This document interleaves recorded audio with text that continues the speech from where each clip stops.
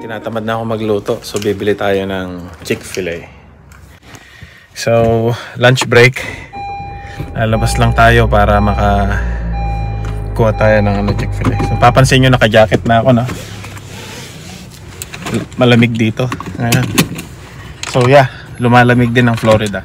So, guys, ang lala ng traffic dito sa Chick-fil-A. Ang daming tao. Lunchtime kasi.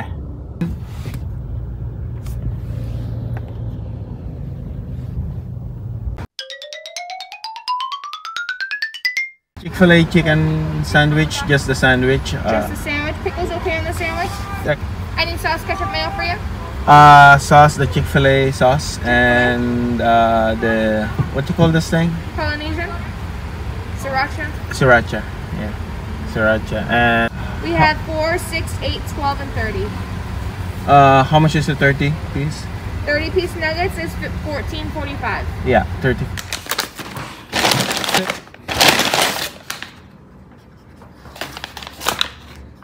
Mm. Anyway. Okay. And guys, hindi nila nilagyan ng pickle yung order ko. Sad. Ito yung sekreto ng ano, Chick-fil-A. Yung sauce nila. Alright. Okay, hindi. Ah, and guys, kain na tayo. Ha? Hmm. Where's your jacket?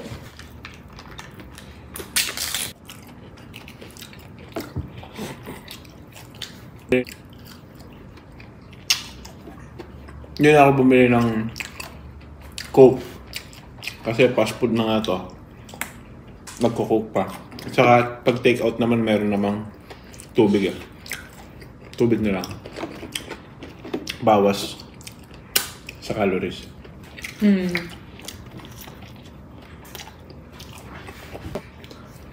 Lutsin up, bebe. Oh, wait. Yun ko na lang i-try. Huwag mo muna. Kasi baka...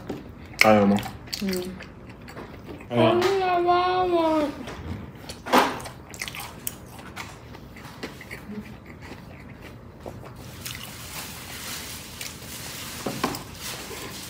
You want bread? Oh.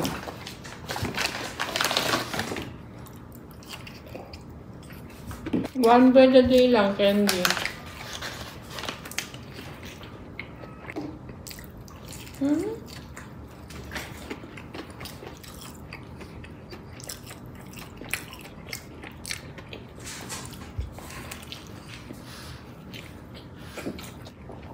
Papaliguan natin mamaya.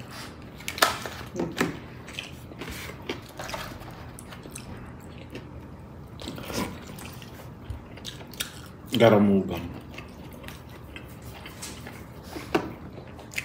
Bakit siya allergic sa ganito?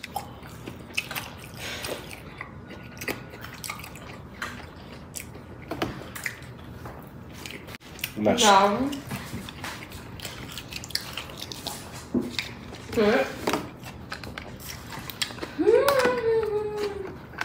Tirahan mo na lang si kuya nito. Mhm. Three sauce, tapos tirahan mo siya konti nito. Hmm, dito na lang. Yung sriracha at saka itong ano, Polynesian, magkasing lasa lang naman sila. eh. Ano lang, maanghang lang yung ano, sriracha.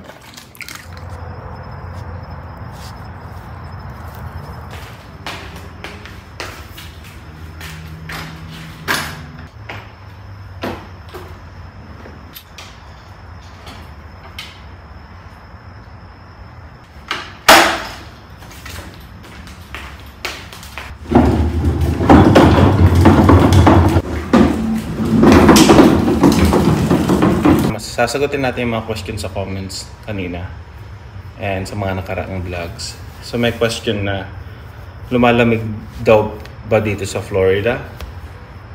So, ang sagot natin dyan is yes, lumalamig dito sa Florida. And kasunod ng tanong is basically parang Baguio ba? Parang ganon yung lamig. Ah, hindi ko masasabi na parang Baguio, no? Kasi minsan lang ako nakarating ng Baguio sa buong buhay ko. Taga Norte ako pero hindi kami masyadong ano, hindi kami masyadong mapasyal ng pamilya. Siguro dahil ano na rin, lumaki ako sa lolo't lola ko. Masyado sila nag-worry. At the same time, limited lang yung budget nila nung bata ako. So, dito sa Florida is iba-iba rin ang ano, iba-iba rin ang city, no. So, meron silang tinatawag na Tallahassee, Jacksonville, Daytona. Meron silang ah, Tampa, Orlando, kung nasaan yung mga Disneyland. And dito nga sa Miami, which is very famous sa tourists. So, dito sa Miami, nagsisimula ang taglamig tuwing November up to middle of April, minsan until May 1st, ganyan, or May, early May. Ah, yung lamig na yun is on and off, no? Not all the days are malamig. May time na sakto lang yung yung weather, I mean, hindi malamig, hindi mainit. Pwede kang lumabas na naka-t-shirt. And may mga days na sobrang lamig. Tulad kaninang umaga, umabot tayo ng 13 Celsius or 50 something Fahrenheit, correct me if I'm wrong, hindi ko kayang convert kaagad. Isipin nyo, ang aircon is 18 Celsius. Ah, so 13 is napakalamig, no? Mas malamig pa kaysa sa aircon ng mall or aircon ng bahay nyo. So, kailangan nyo mag-jacket. So, para maging komportable yung pakiramdam nyo. Pero not to the extent na yung doble-dobleng jacket katulad nung mga previous vlogs namin nung nasa Pennsylvania pa kami at saka nasa New Jersey. Yung next question, uh, actually hindi siya question, comment. Nabi niya, di po ba maraming buhay yan sa Florida? Nakakatakot daw. Sagot ko dyan is, yes, ang Florida is basically swamp place, no? Nung unang panahon. At maraming buhaya siguro na nagkalat. However, ngayon is na-develop na siya. City na siya.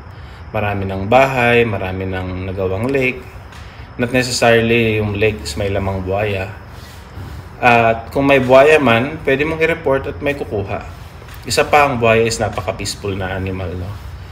Ah, wag mo silang i-trigger, hindi ka nila aanuhin. Natutunan ko yan nung pumunta kami dun sa Indian settlement and may mga buhaya sila doon and meron pa nga ditong parang isang ano sa Everglades ah, actually doon na sa medyo malayong lugar na yan sa may remote area na yan ah yung bike lane nila is may buhaya so ang is hindi naman nanghahabol na parang aso no na pag nakita ka niya habulin ka niya at kakagating ka niya hindi, hindi, hindi ganon kita kang buhaya dito sobrang liit lang no kaya mong wrestlingin kaya mong huliin So, yun. Ah, sana nasagot ko yung tanong mo. And kung nagbabala ka man lumipat dito sa Florida, is huwag kang matakot. Walang buhaya dito.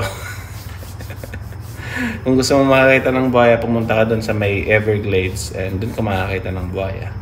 Ah, isa pang katanungan is, actually hindi, rin, hindi siya tanong ulit. Isa pang comment is, kino-compare nila yung ano yung pricing ng housing sa Japan and Australia and appreciate na appreciate ko yung inputs nyo guys at uh, nung nabasa ko yung mga comments nyo is I think all places naman sa mundo is pare-parehas no? dito sa US or kahit yan sa Pilipinas ang ang value ng bahay is nagdi-differ based dun sa gaano ka-develop yung lugar. Okay? Masasabi ko yan dahil nanggaling din ako ng Maynila at nanggaling din ako ng probinsya. Sample na lang ah, 1 square 1,000 square meters versus 240 square meters sa Maynila is almost parehas lang ng value. Bakit? Kasi nga dahil dun sa how develop yung lugar. Paano mo masasabing develop yung lugar and gaano mo masasabing asensado yung lugar, di ba? Siyempre, kung maganda yung school district dito sa US, ah yan sa atin, maganda yung school na malalapit dun sa lugar na yon. Same time, marami bang mall, di ba? May mga pasyalan ba na malalapit? Next is yung opportunity, of course, yung trabaho. Gaano ba kara karaming trabaho? Katulad yan sa Pasig, syempre malapit yan sa Ortigas, sa McKinley, malapit sa Makati. So, pag bibili ka ng lupa dyan sa Pasig, sa Cainta, sa Quezon City, of course, mahal, di ba? Kumpara mo, pag bumili ka ng bahay dyan sa may Bulacan, I think kahit yung Bulacan ngayon is magmamahal na rin. Cavite, di ba? Unless siguro talagang lumayo-layo ka pa konti, ah yun, magmumura na yung price ng bahay. Depende talaga yan sa lugar. I need paper. Ha? Paper.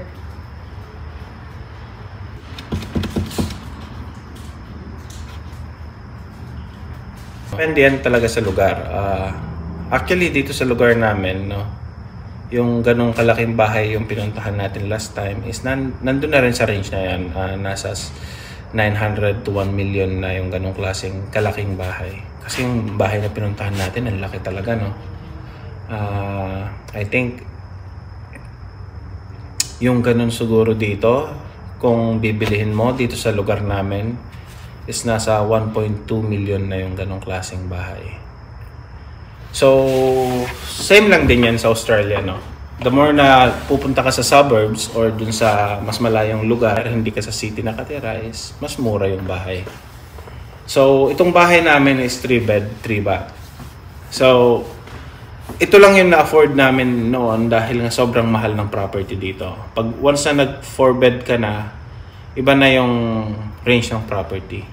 Ah, isa pang ang kinoconsider namin is lumipat ng Jacksonville or lumipat ng Orlando. Kasi doon, ah, ganun din, ah, malalaki yung mga bahay and hindi ganun kamamahal. I mean, reasonable yung price. Mahal na siya kumpara sa ano, pero reason, re- reasonable yung price. So, yun guys. Ah, thank you so much and salamat ulit sa pagnood nyo ng mga vlogs ko nung nakalipas. Ah, tapos na yung vacation ko. So, this might be my last vlog for ah, this week, no? Baka next week, baka sipagin tayo mag-vlog ulit. Pero hindi na ganun kadala, kadalas yung vlog natin. Ah, mas madalang na. Kasi ah, minsan mahirap din pagsabayan yung vlog and work, no? So, sana ah, na-appreciate nyo yung yung effort by showing na you know, you know, uh, subscribe and you know, i ilagay niyo yung bell para sa mga susunod nating vlogs is na mabigyan kayo ng ano ng notification. At the same time, i-like niyo na rin. Salamat guys and sana ah, patuloy pa rin ang support niyo sa amin and thank you so much for watching and God bless.